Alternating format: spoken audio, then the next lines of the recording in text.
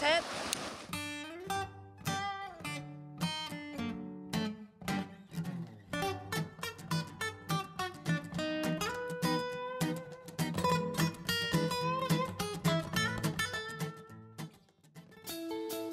에메랄드 빛 바다가 펼쳐진 이곳은 부자읍 해안로입니다. 오늘도 맛과 멋을 찾아 세와리 길을 떠나볼까요?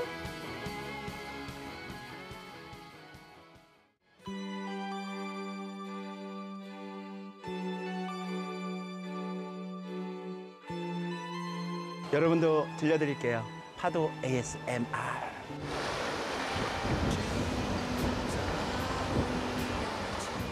여러분, 저는 평소에 마음에 스트레스를 받을 때 이곳에 와서 마음의 여유를 좀 즐기고 간답니다. 여러분들도 이곳에 오셔서 파도 소리를 들으면서 마음을 안정하길 바래요. ASMR. 세화해변을 따라 펼쳐진 해맞이 해안로는 이름에서 짐작되듯이 제주의 동쪽 해가 뜨는 방향의 해안도로라는 뜻입니다. 끝없는 바다를 보며 걷다가 드라이브 하기도 좋은 곳인데요. 특히 세화리는 아기자기한 동네로 둘러보기도 좋은데요. 먼저 체험을 위해 바다로 향했습니다.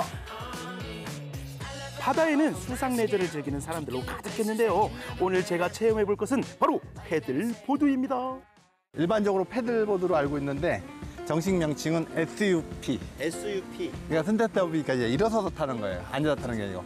무릎이다, 무릎 정도다, 아니면 허리 정도다 이 깊이에서는 그대로 무릎이 올라가도 됩니다. 구력이 한 160 정도 될 거예요. 160kg 정도. 그 정도 타도 안 가라앉아요. 그러니까 일반 성인 같은 경우는 두 분이 타도 안 가라앉는데 저는 저 혼자 네, 혼자 타야 돼. 응. 혼자 타야 돼. 자, 이렇게 하고 내가 좀 빠졌는데 타다 빠- 빠졌는데 뭐 가슴 이상이다. 여기 놓고 그대로 배부터. 발이 안 올라가 점프해서 배를 딱 갑니다. 이렇게 된 상태에서 그냥 돌아주시면 돼요. 이렇게 돌아서 앉아서 탑니다. 앉는 위치는 항상 손잡이. 바다에 나가기 전 지상에서 보드에도 올라타 보고 노젓는 법과 방향 전환 방법도 배웠는데요. 보드에 연결된 안전장치를 발에 묶고 바로 실전 돌입.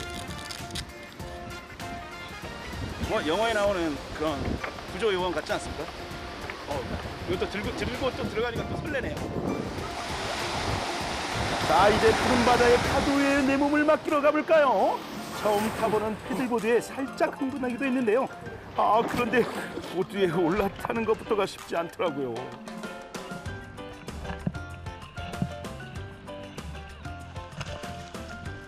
자 일단 보드 위에 앉는 데는 성공. 하지만 순간 중심을 잃으면 바로 입수. 시작부터 난관에 부딪혔는데요.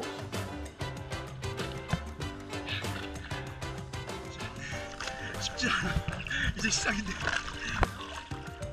이번에는 서서 타기의 도전. 역시나 일어서자마자 바로 물속으로 직행합니다. 자, 이 계속해서 이차 시도. 어, 어, 어, 어, 역시나 바로 자동 입수죠. 이번엔 파도 타는 사나이로 변신했습니다. 잘 나가는가 싶더니 어, 역시나 입수. 어우, 그래도 나에겐 포기는 없다. 계속해서 도전했는데요. 덕분에 물도 엄청 먹었다는 거 아니겠습니까? 이번엔 오롯이 나에게만 집중하는 시간을 가져봤는데요. 원래는 어, 좀 이런 컷을 기대했는지 말입니다. 생애 첫 패들보드 도전을 끝내고 다시 해알맞이 해안로길을 따라 걸었는데요. 자 이번엔 현지인들이 추천하는 새와 맛집을 찾았습니다. 점심 시간이 되자 사람들의 발길이 이어지는 이곳의 메뉴는 바로 소 왕갈비찜. 하, 이 동쪽 제주도 동쪽의 아름다운 마을. 하, 이곳은 뭐, 뭐 저도 뭐 익히 알고 있는데 워낙 유명해서 야 세화 가면 그 왕갈비찜 먹어야지 하는 그곳이에요. 어, 있어, 온다 온다 온다 온다 온다. 안녕하세요. 어, 왔다 왔다 왔다 왔다. 어, 안녕하세요. 매운 거 잘 드세요? 아 매운 거 좋아하죠. 야, 아 근데 얼마나 맵길래 이게 매운 걸 좋아하냐고 물어볼 정도면 아, 매운 걸 좋아하는 저는 가장 매운 맛에 도전해 보기로 했는데요. 보기만 해도 매콤해 보이는 빨간 맛 갈비찜이 등장했습니다.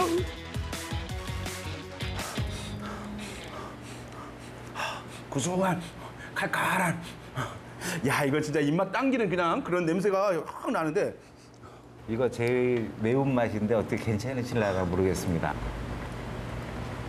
한 입 먹자마자 목에서 칼칼함이 전해져 왔는데요. 칼칼하네요 아, 매- 아, 매운 거 좋아하시는 것 같아요. 아 칼칼하네 이건 갈비찜에 들어가는 비법 육수라는데요. 이거 비법이니까 비법을 안 가르쳐 주시는 거죠 이건 아무래도 이제 파지가 위에 쫙 올라가서 볕에 나오는 소갈비 먹는 방법이 있습니다. 이 근막이 쫙 잘라지는 이, 이, 이 느낌 쫙 벌어지면서 그 안에 있는 그 기름이 쫙 나오잖아요. 요 요거 놔둬 주세요. 요거 이렇게 뜯어 먹 뜯어 먹게.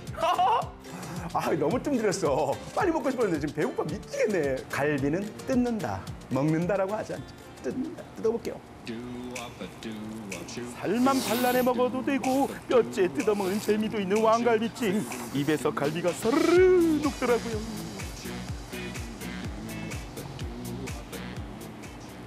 와, 제가 갈비찜을 굉장히 좋아하거든요 우리 어머니가 저 생일 때마다 해주는 게 갈비찜이에요 안에 씹으면서 쫄깃하게 씹으면서 안에 있는 근막이 쫙 아가작 아가작 바가작 바작 씹히면서 육즙도 쫙 나와야 되는데 뭔가 딱 건들자마자 푸르륵 떨어지는 그런 갈비찜 있잖아 안 돼.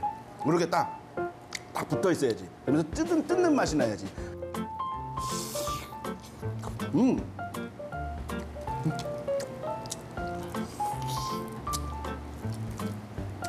너무 맛있다. 이게 맵기도 저한테는 딱입니다. 음. 지금 맵기는, 음. 좀 약간 그 불닭 그 면, 무슨 면 뭐 그 정도의 음, 맵기라고 하는데 음 뭐 이 정도는 뭐 음, 음. 밥을 또 따로 달라 그랬어요. 또 쌀밥에 먹는 맛이 또 있거든 또 이렇게.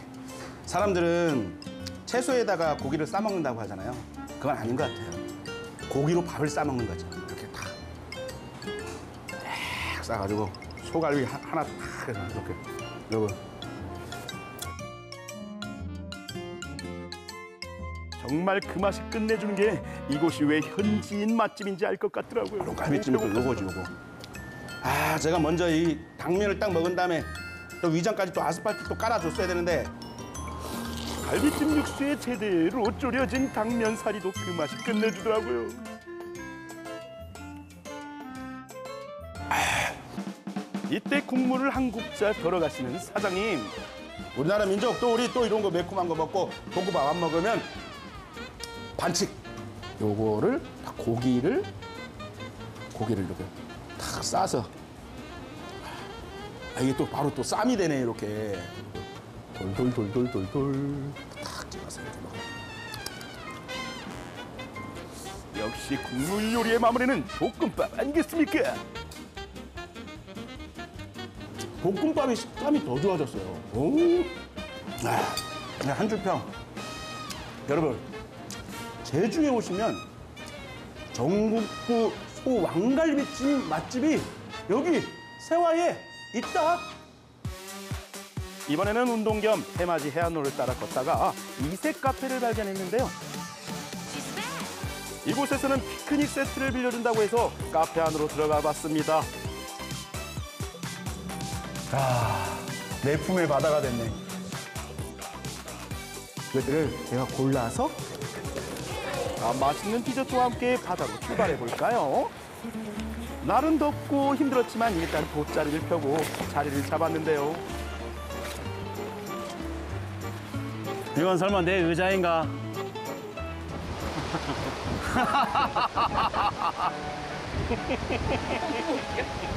엉덩이 한쪽만 거치라는 건가? 처음 나온 바닷가 피크닉 어색하고 서툴지만 그게 뭐 어떻습니까? 이런 게 또 여름날의 낭만이잖아요. 달콤한 디저트와 함께 따끈한 지열을 즐기며 소풍을 만끽했습니다. 맛있게 드세요.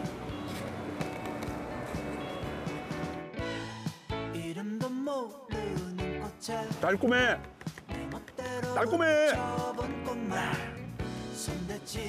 바다를 보면서 말이에요. 치킨과 피자를 먹잖아요.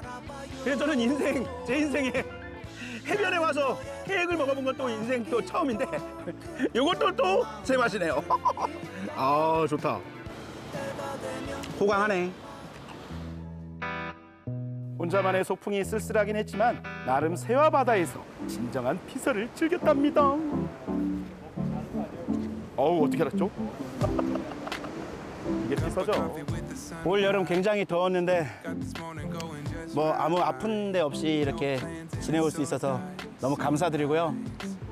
우리 MBC가 저를 위해서 이렇게 보양식을 많이 주셔가지고 제가 아픈 데 없이 이렇게 무럭무럭 자라는 것 같아요. 앞으로도 더 잘 먹겠고요. 건강한 좌 선생 될게요. 감사해요.